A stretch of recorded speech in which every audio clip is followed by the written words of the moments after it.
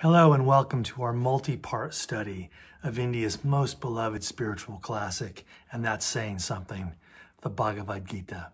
And we're going to be studying the Eknath Easwaran English translation from Nilgiri Press, 2007, by the book. It's, it's going to be an, an integral part of your home library, your journey toward life's wisdom, and your engagement in this course.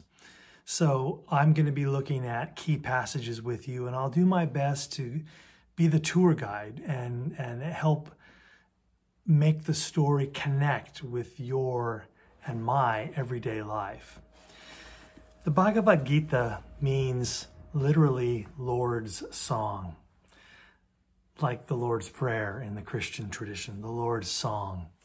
And it is without a doubt, the most down to earth, relatable, and insightful in, in everyday terms of all the great classics of Indian wisdom. And I'm going all the way back to the Vedas and the Upanishads and, and all of the rest.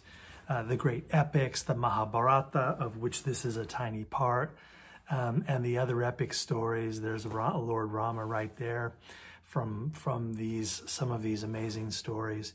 But the Gita, let's call it the Gita for short, has a real special place in all of that. And I'm I'm wondering with you today, why is it the most popular, the most beloved for ordinary people, not just for scholars, but for ordinary people of all the Indian scriptures? And I think we'll discover an answer to that question together. But just to foreshadow it a little bit, let's look back again. The Vedas, from many, many thousands of years ago, thousands of years BCE, were written by rishis, by seers and scholars of the Brahmin caste for other Brahmins. And they are, that's where all Hinduism and Indian knowledge begins, is the Vedas. But they are esoteric. They're, they're inside texts for specialists of the tradition. And the elite quality of the Vedas then is it doesn't filter down to ordinary folks as easily. Then in the late Vedic period came the Upanishads from, you know, I'm just ballparking it here from, you know, 1000 or 1200 BCE to 7 or 500 BCE. That, that late Vedic period saw a, a flowering of a new approach. Upanishad means to sit near a teacher. And so the Upanishads were records of dialogues often between teachers and students, people who had been immersed in a lifelong study of Vedic wisdom. But the door began to crack open to allow and to spotlight ordinary seekers from any caste called sannyasin or, or renunciants. So that made, if this is the right word, that made the process more democratic, more egalitarian, more open to all. And by the way, this, this axial age of 500 BCE, when all over the world, enormous philosophical um, importance is taking shape in the in the Mediterranean, you have, you know, the Pythagoreans and Socrates and Plato and Aristotle. And in the deserts of Judea, you have the, the, the uh, early Jewish scripture, the Old Testament, as Christians call it, taking shape. Over in China, you have Lao Tzu and Confucius, of course, of the Taoist and Confucian tradition. So it's remarkable that all over the world in that, in that rough time frame of around 500 BC, there was this explosion of philosophical literature, including the Upanishads. And what else is happening in India at that time? The Buddha, who comes out of the Indian traditions and begins to teach his pragmatic approach to awakening. And the Bhagavad Gita comes after all of that.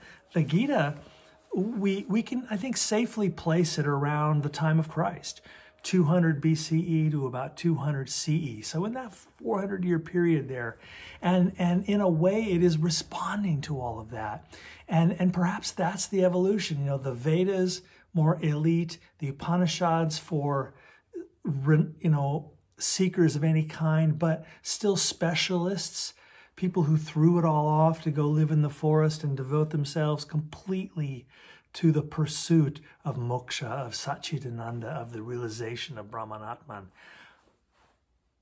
But the Bhagavad Gita is for all of us. And, and as we'll see in the coming videos, it tells the story of an ordinary man, you know, uh, a member of the Kshatra caste, a warrior prince called Arjuna. And Arjuna is poised on the cusp of battle.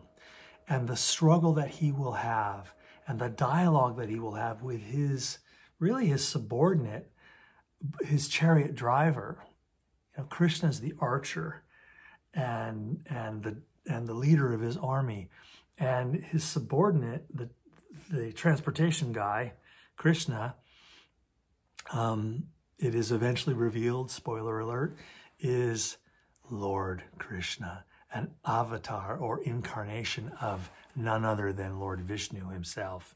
And as we'll get into the later chapters, we'll see that, that reveal uh, fully blossom. But here at the beginning of the story, we just see an ordinary guy, not a yogi, not a rishi, not a scholar.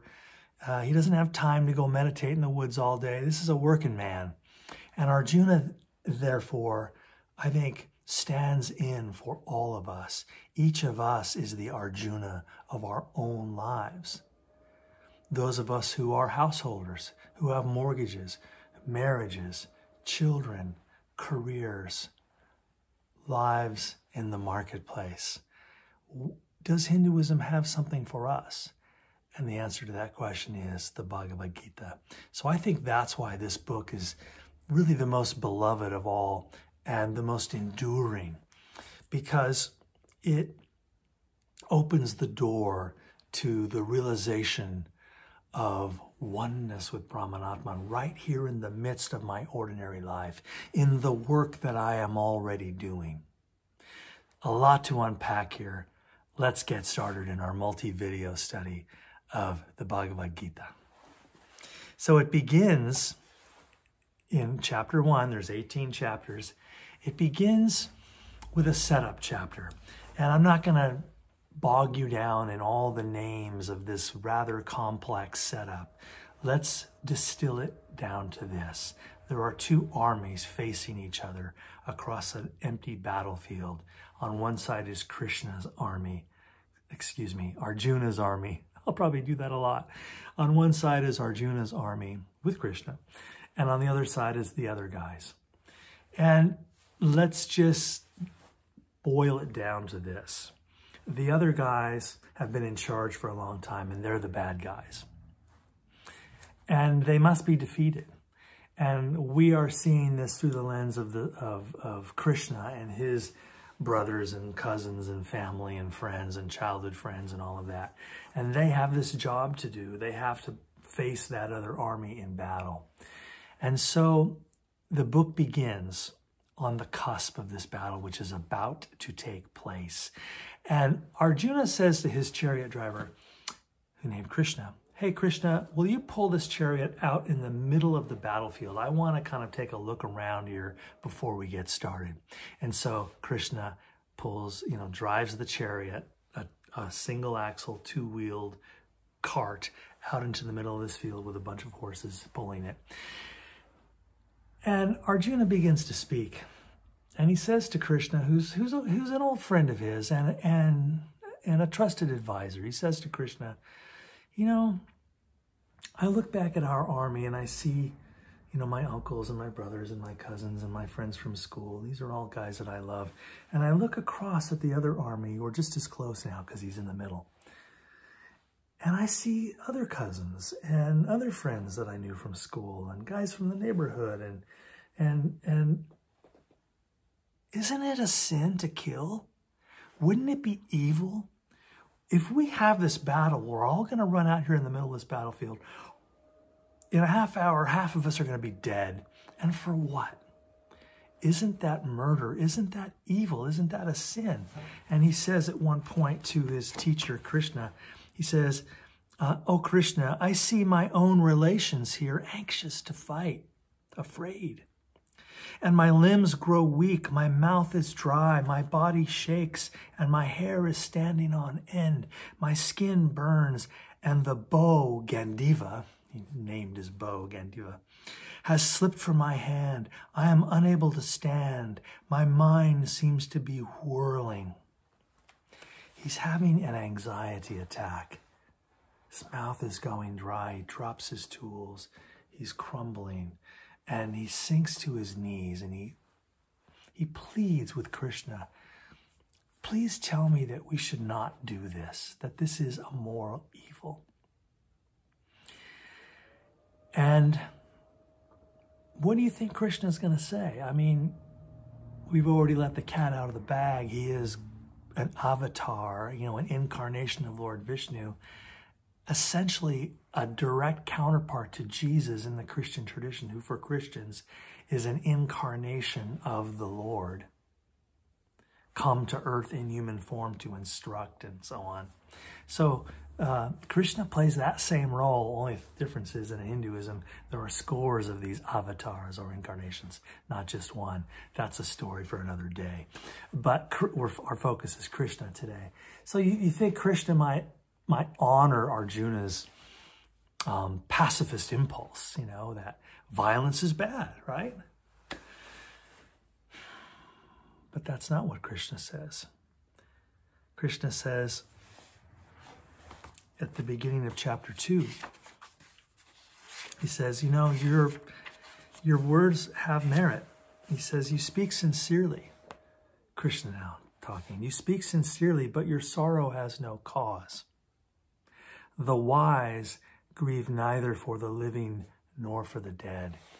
It's going to shift under our feet now. It's going to get weird because this wisdom teacher, Krishna, is going to teach Arjuna for the next 17 chapters, chapters 2 through 18, why he should fight, why he must fight, why it is his duty or his dharma to take action in the field of action.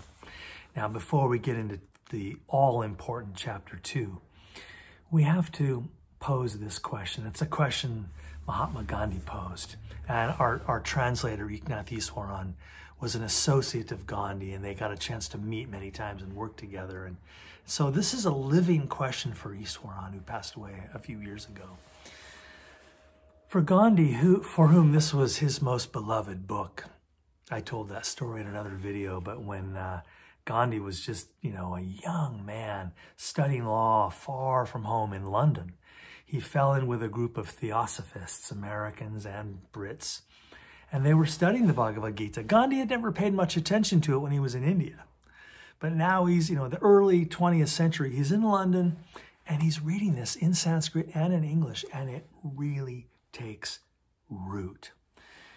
It ends up becoming one of the most formative texts in Gandhi's life, and we'll we'll touch back on that many times through our through our Gita series because it's such a beautifully illustrative point that Gandhi, whom, whom we all know is sort of the paradigm of nonviolence, right, of ahimsa. Why would he love a book where the guy says you should fight, where Krishna's advice is go to war? Well, here's where we have to ask the question is this book to be read literally or metaphorically? And that's a question we pose when we read any ancient epics. You know, like I said, this is a small part of the large multi-volume series of Indian mythology called the Mahabharata, the longest epic poem on earth, much longer than the Iliad and the Odyssey. And in the Mahabharata, there's lots of wars, lots of gods, there's lots of family drama, real soap opera, yeah?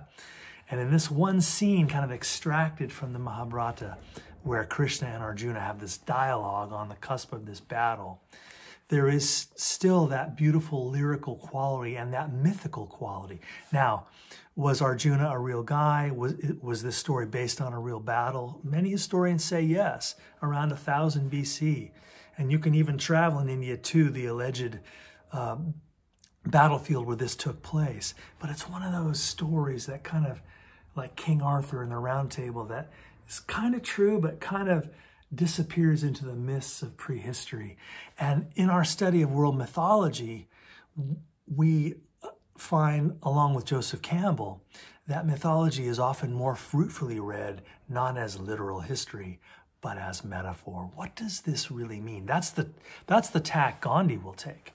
Gandhi will read this story as metaphor that, again, each of us is the Arjuna of our own lives. And, and what this is really saying is, in metaphorical, symbolic terms, is that you and I find ourselves in a battlefield. So the battlefield becomes a metaphor for the field of action, the field of karma, where you have find yourself in society with all of these other sentient conscious beings, all of these other forms that were that are manifested forms from the formless of uh, Brahmanatman.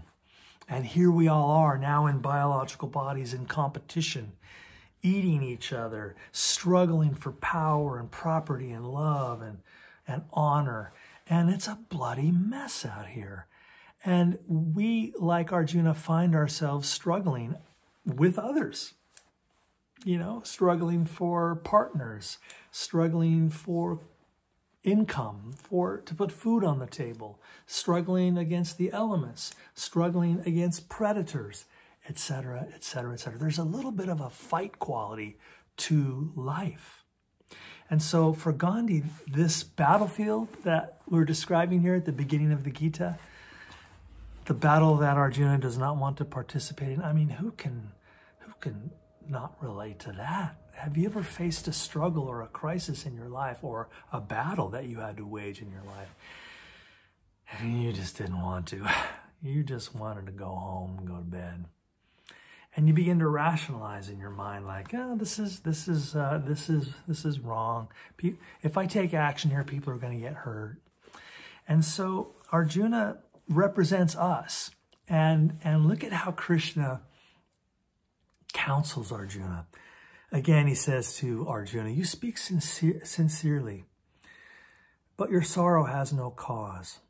The wise grieve neither for the living nor for the dead. There has never been a time when you and I and the kings gathered here have not existed. Nor will there be a time when we will cease to exist. As the same person inhabits the body through childhood, youth, and old age, so too at the time of death he attains another body. The wise are not deluded by these changes. Right away, right out of the gate, and early on the second page of chapter 2, Krishna begins to teach Arjuna something he probably already knows. He begins to teach him about the Atman, that our bodies are, are born and they're going to die. They come into being and they go out of being. But as Krishna just said, at the level of the self, of the Atman, there never was a time when you did not exist, nor will there ever be a time when you cease to exist.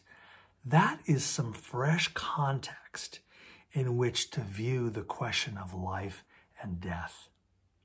As Eckhart Tolle put it in his beautiful book, Stillness Speaks, Life is not the opposite of death. The opposite of death is birth. Life has no opposite. That's what Krishna just told Arjuna. He goes on in verse 16 of chapter 2 the impermanent has no reality.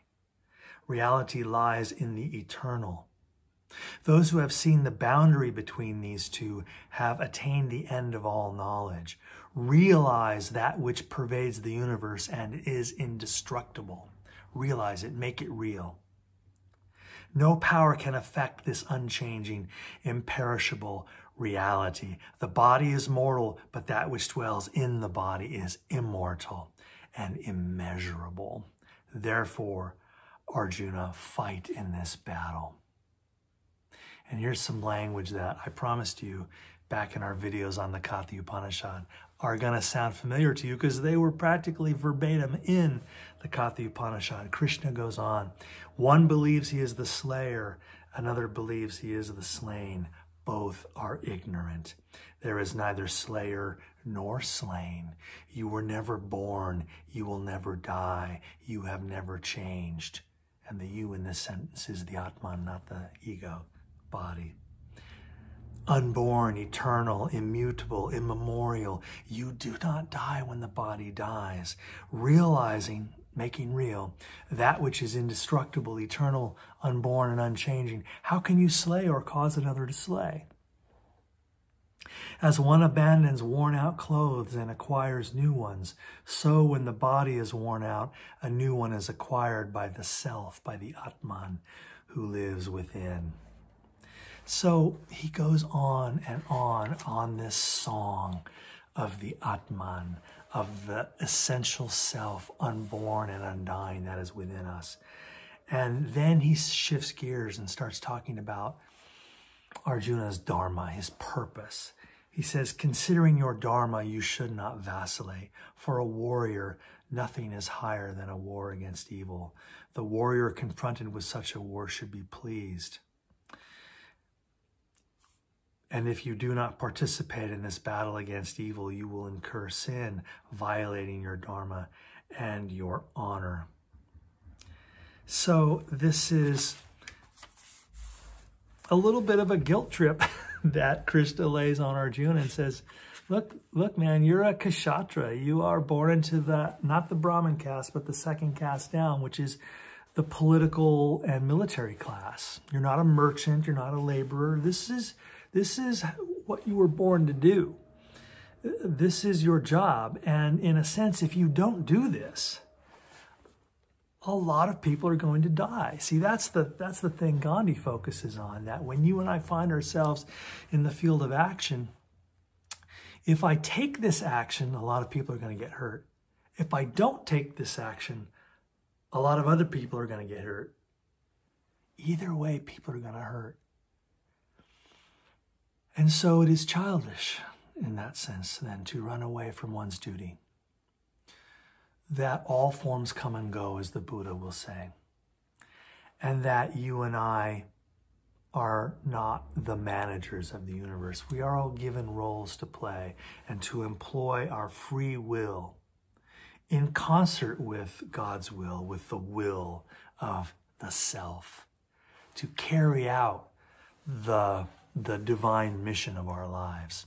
I know this is skirting for many of us dangerously close to the concept of holy war, which has plagued humanity, right, for millennia. Every army believes it has God on its side, and Gandhi's very aware of this. We want to be careful here. This is not the blind authorization of all violence. This is a carefully considered philosophical reconsideration of the fact that every day I have to eat food. Every day I'm going to put thousands of calories of formerly living things into this hole in front of my face. I'm going to chew it up and swallow it. It's not my fault. Um, I didn't invent the rules of this game. You know, I, I was born into this biological body which burns heat, needs fuel um, all around me, animals are eating animals and animals are eating plants. Now, as a human being, I can choose to just eat plants and, and so on. We are all aware of that. But we have to eat living things. We have to eat the embodied energy of the sun, whether it's embodied in a plant or whether it's embodied in an animal that ate some plants. So that is violence. And so it's wise to consider that ahimsa or causing no uh, causing no harm is not a blanket pacifism. It is the mature recognition that in order for there to be a world at all, there is life taking life, and that we must engage in this. It, it's a paradox, and the whole rest of the Gita is packed with wisdom about how to navigate that paradox with honor, with courage, with humility, with selflessness, with dignity, and even with love. To not kill out of ego and pride, and certainly not in rage, but always in the consciousness that I am not the doer. I am the instrument that is being used by powers beyond me. And, and, and so that's called karma yoga, right? To act without attachment to the fruits of my action. Um, beautiful lines in, in chapter two, and then we'll work our way toward the end here. Uh, I love this one. Just as a reservoir of li- is of little use when the whole countryside is flooded, scriptures are of little use to the illumined man or woman who sees the Lord everywhere. I'm a big fan of scripture. I mean, here I am doing a whole video series on this beloved scripture. But, you know, there's a little hint there, isn't there, that just as a reservoir is of little use when the whole countryside is flooded, uh, scriptures are of little use when you are flooded with the direct experience of the divine, which is like that flood all around us, within us, without us, in everyone we meet, in every choice we make.